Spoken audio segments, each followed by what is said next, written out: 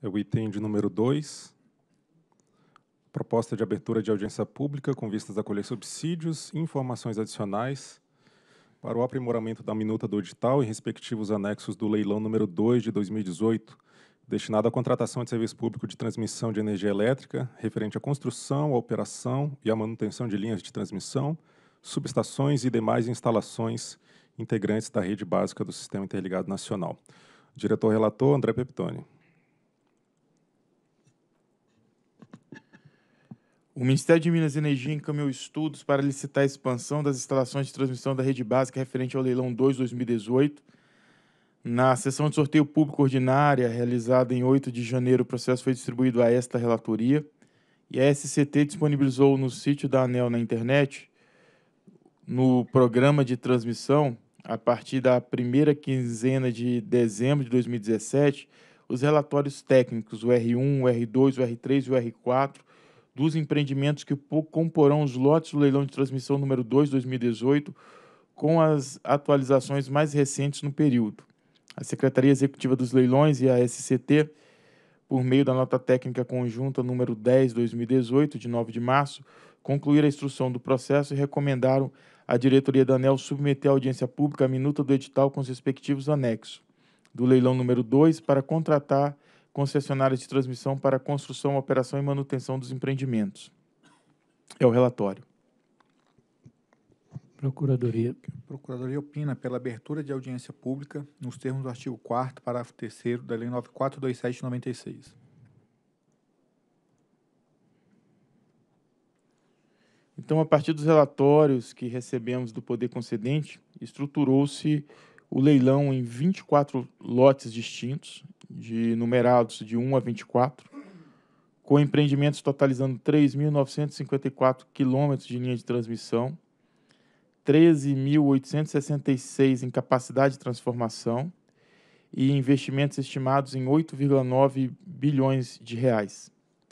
Os 24 lotes, dos quais 19 são inéditos, dois advindos de lotes sem proponentes no leilão 5 2016 e três decorrentes de concessão de concessões que passaram por processo da caducidade. É que cita-se a Cearense, a ATE 23 e a ATE 24.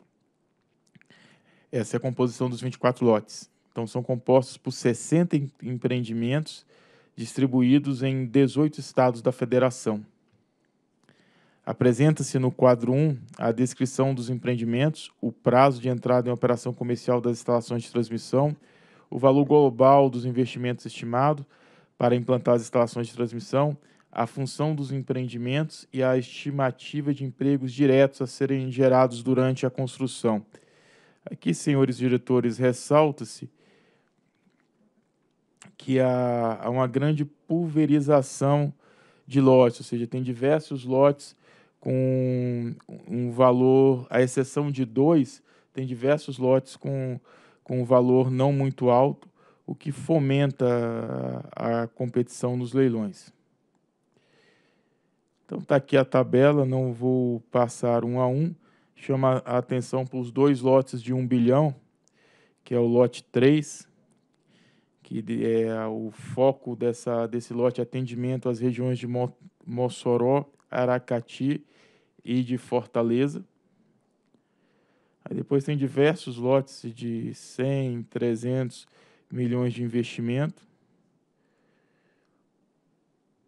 E nós temos o lote 20, que é o outro lote de uma monta significativa de investimento, também na casa de um bilhão de reais, cuja a função desse lote é a integração do potencial eólico do estado do Rio Grande do Sul, ou seja, é um lote que se destina a escoamento de energia renovável, de energia eólica no estado do Rio Grande do Sul.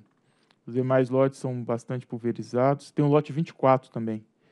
Então temos três lotes de com investimento de um bilhão de reais.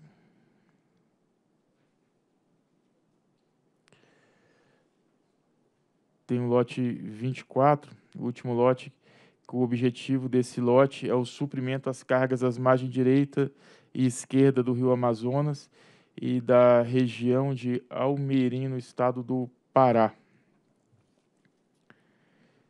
E e nós temos uma previsão de criação de praticamente 19.298 empregos diretos. O que, que, tem de inovação do edital? Relativamente então, ao edital do leilão 2 de 17, foi proposta como inovação incluir procedimento para obtenção do benefício do REID no edital.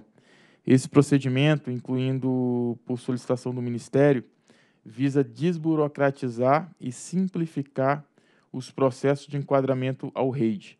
Na prática, o novo concessionário solicitará a inclusão do programa de incentivos previamente à assinatura do contrato de concessão, mediante preenchimento de formulário disponível no sistema rede do Ministério de Minas e Energia e, entrega à ANEL, que após análise recomendará o MME, o, o efetivo enquadramento.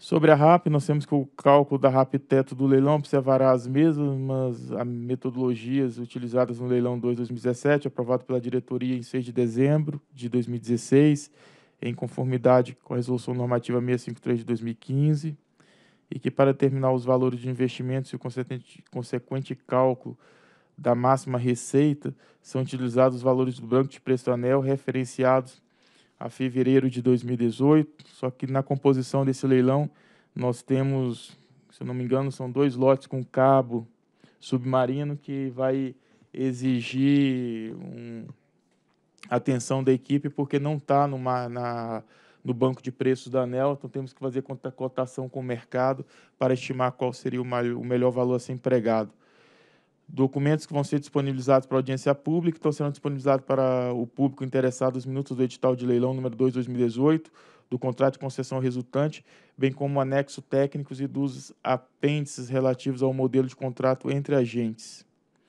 Esse é um, um ponto aqui que merecemos, que merece aprimoramento no, no leilão são os contratos, o CCT e o CCI, que são quando se identifica a obra que tem que conectar a instalação de outras transmissoras.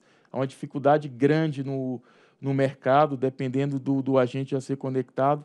Então, poderíamos avaliar, até no âmbito dessa audiência pública e para o futuro, modelos de CCT e de CCI para que a gente supra hoje esse desafio que está acontecendo com os agentes participantes do leilão.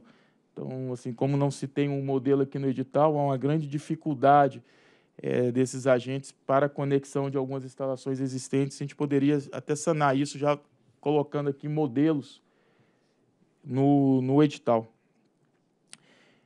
A CEL e a SCT encaminharam o ato justificatório desse leilão para o Tribunal de Contas. Então, nos termos da instrução normativa de 9 de março de 2017 do Tribunal de Contas da União.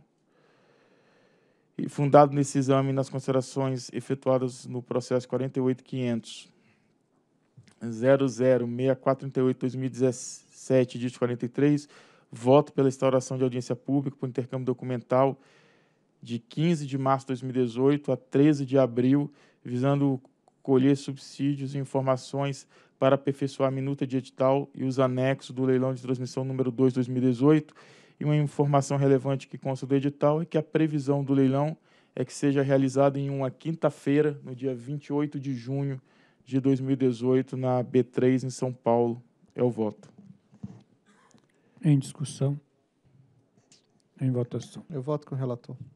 Também voto com o relator. Proclamo que a diretoria decidiu, então, pela instauração de audiência pública por intercâmbio documental, período de 15 de março a 13 de abril de 2018, visando colher subsídios e informações para aperfeiçoar a minuta do edital e os respectivos anexos do leilão de transmissão número 2, 2018 ANEL. Próximo item.